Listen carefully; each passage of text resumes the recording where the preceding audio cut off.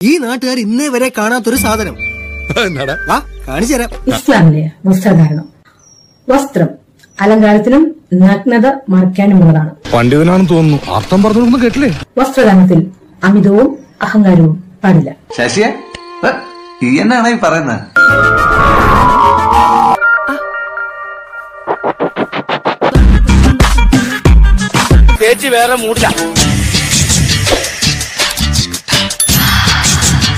മുഖത്ത് എഴുതി വെച്ചിട്ടുണ്ട്. ആർക്കും വാരിക്കോരി കൊടുക്കുന്നവളാണ്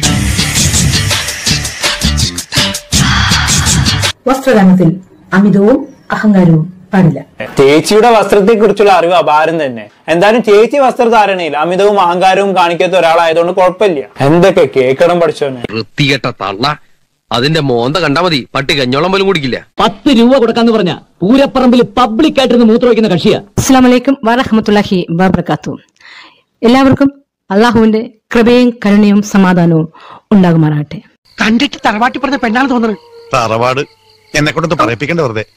അവിടെ നെറ്റിൽ എഴുതി വെച്ചിരിക്കല്ലേ പഴയണെന്ന് അടുത്ത ആഴ്ച ബലിപ്പെരുന്നാൾ എന്നാണ് മുസ്ലിം സഹോദരങ്ങൾ ആചരിക്കാൻ പോണത്. നമ്മൾ വിചാരിച്ചോ നല്ല ഊളി നിങ്ങളെങ്ങനെ വിചാരിച്ചു ഞാൻ വിചാരിച്ചു നല്ലൊരു പെൺകുട്ടിയാണ് മോനെ.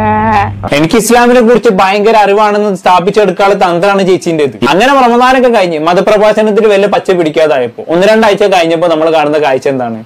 എന്താണ്? ആ രണ്ടുപേരും രണ്ട് രണ്ട് സാഹചര്യത്തിൽ നിന്ന് വളർന്നു വന്നവരാണ്. പല രണ്ടുപേർക്കും പലതരത്തിലുള്ള എക്സ്പീരിയൻസ് ഉള്ളവരാണ്. ഓ അത് ശരി. ഇത് വിശ്വരൂപം.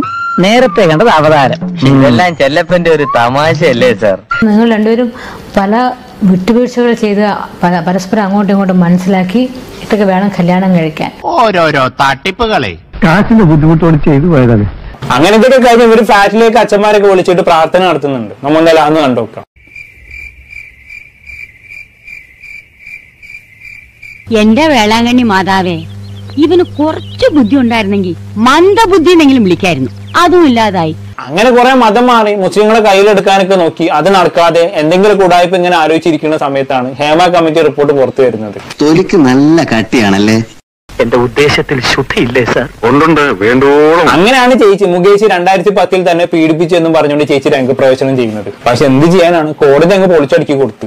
എടാ നീ ശരിക്കും മണ്ടനാണോ? അതോ മണ്ടനെ പോലെ അഭിനയിക്കാണോ? ശരിക്കും മണ്ടനാണ് സാർ. എലിവിഷം വേണ്ട ഏൽക്കില്ല. നല്ല പന്നിപ്പടക്കം വാങ്ങിക്കുക ഈ സാധനത്തിന്റെ വായിലിട്ട് പൊട്ടിക്കുക കൊല്ല ഇനി ഞാനിവിടെ നിന്ന് ഡയലോഗ് പറഞ്ഞ കരഞ്ഞു പോകും. അപ്പൊ ഞാൻ പോട്ടെ. എന്തോ എന്റെ കാര്യം കൂടെ ഒന്ന് പറയടാ. ആ ഈ പാവത്തിന് ഒന്ന് അഡ്ജസ്റ്റ് കൊടുത്തേക്ക്.